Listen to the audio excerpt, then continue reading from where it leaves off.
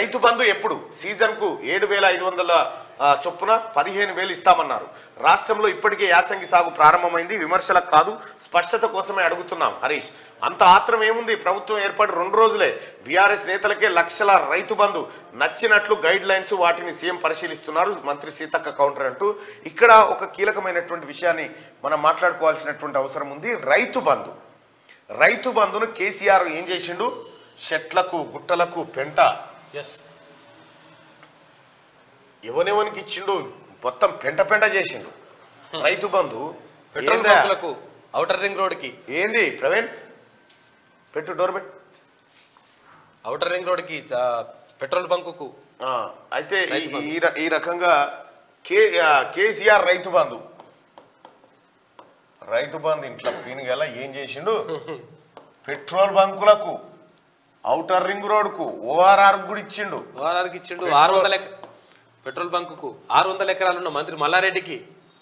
ఆరు వందల ఎకరాలున్న మల్లారెడ్డికి వందల ఎకరాలు అయిపోయినాయి.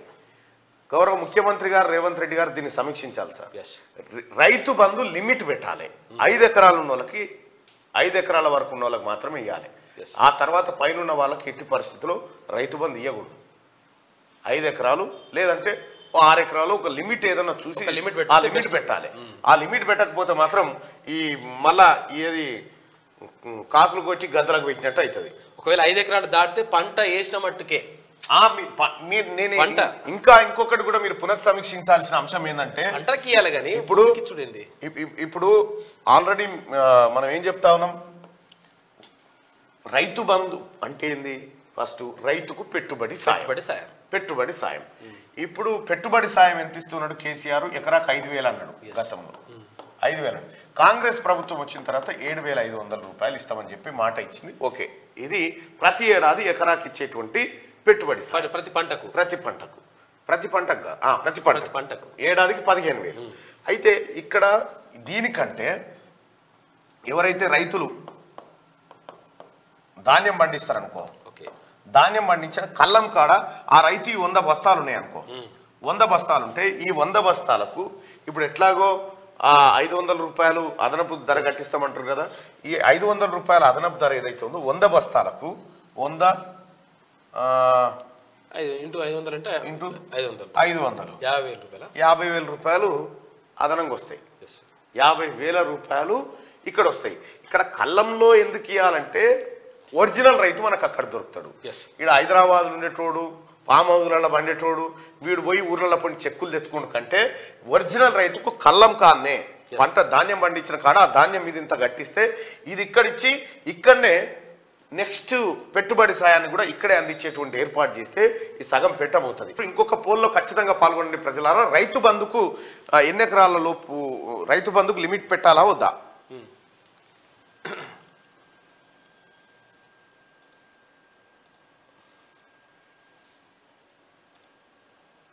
రైతు బంధు.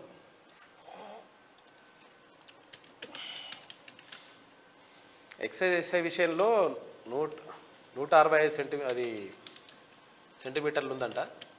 తగ్గించాలని చెప్పేసి కోరుతున్నారు వాళ్ళు.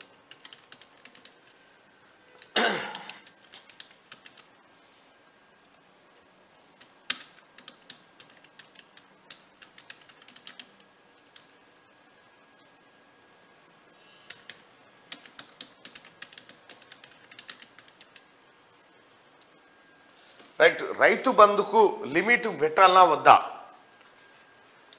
రైట్ రైతు బంధుకు లిమిట్ పెట్టాలా వద్దా? ఎంత పెట్టాలి? ఐదు ఎకరాల లోపలకు పెట్టాలన్నా పది ఎకరాల లోపలకు పెట్టాలన్నా. దయచేసి మీ ఒపీనియన్ తెలియజేయండి. ఎందుకంటే మొత్తం సంపద అంతా వీళ్ళే కొట్టుకపోయారు. ఎవడేమనుకైతే వందల ఎకరాలు. మల్లారెడ్డికి అంతెందుకు? కోమటిరెడ్డి రాజగోపాల్ రెడ్డి గారికి కోటి రూపాయలు ఏమో ఎన్నో లక్షలు వచ్చింది. వచ్చింది. నాకెందుకు రైతు బంధు? నేనే ఆస్తిగాల్లోని Yes. అని చెప్పి ఆయన వాపస్ ఇచ్చి వాపస్ ఇచ్చేసిండు. అట్లా ఇచ్చిరా ఏ మంత్రి అన్న ఏ మంత్రి ఇయ్యలే మళ్ళా? మాజీ మంత్రులు ఎవరు ఇయ్యలే అట్లా? రైతు బంధుకు లిమిట్ పెట్టాలా వద్దా? ఎంత పెట్టాలి? లిమిట్ పెట్టాలా వద్దా అనేది మీరు కామెంట్లో తెలియజేయండి. ఎంత పెట్టాలనేది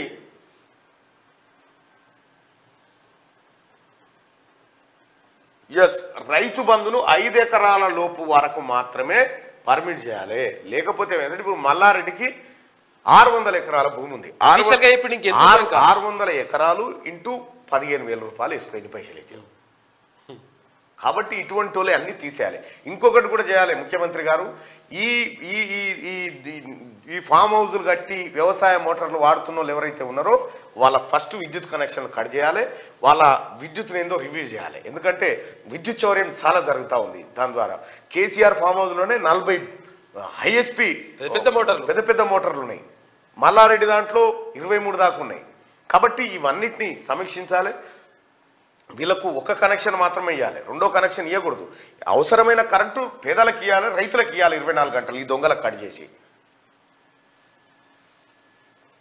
రైట్ ఐదు ఎకరాల లోపున్న వాళ్ళకు మాత్రమే ఈ రైతు బంధు పెట్టాలి అని చెప్పి మెజార్టీ ప్రజల అభిప్రాయం.